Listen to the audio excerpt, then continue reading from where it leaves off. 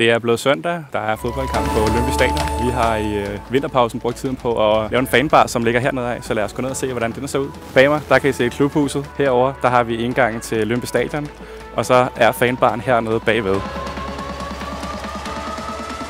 Bag mig har vi fanbaren. Lad os gå ind og se, hvordan det ser ud derinde.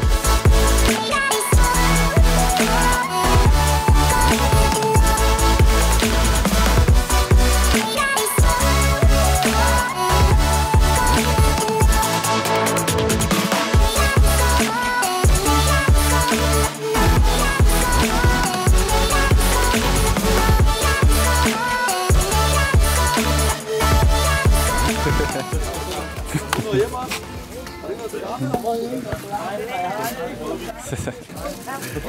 er den, der skal smadres op. Jeg tager 1000 billeder, så bare smil og lægger an. Det er super. Vi ses. Vi ses. Fanbaren bag os, den øh, har åbent til alle hjemmekampe to timer før kampstart, hvor der er blandt andet billig øl. Du kan få en fadøl for 25 kroner, og du kan få en sodavand for 20 kroner. Jamen, jeg er lige lidt rusten i mit uh, Instagram. Uh, Vi er blevet for gamle, altså det er det der.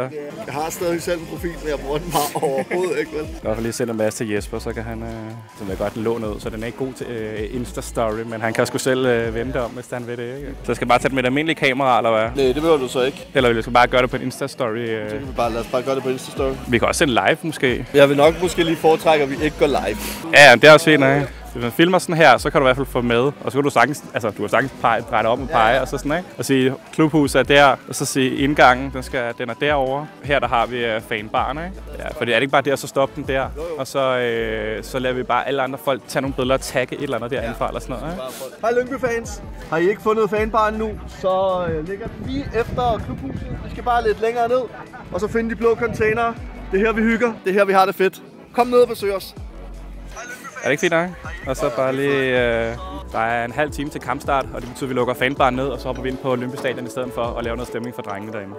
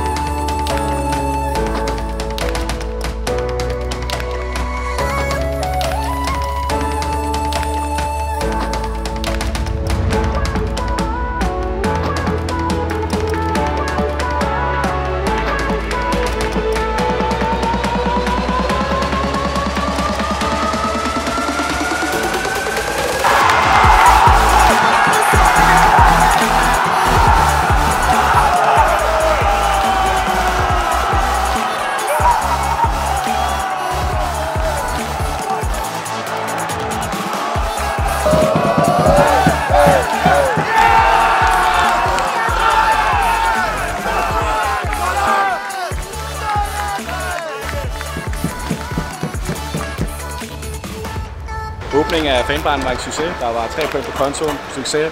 Det her det er bare en succes. Succes! Tak til alle, der øh, har været med i dag. Nu skal vi bare lige have på det sidste op.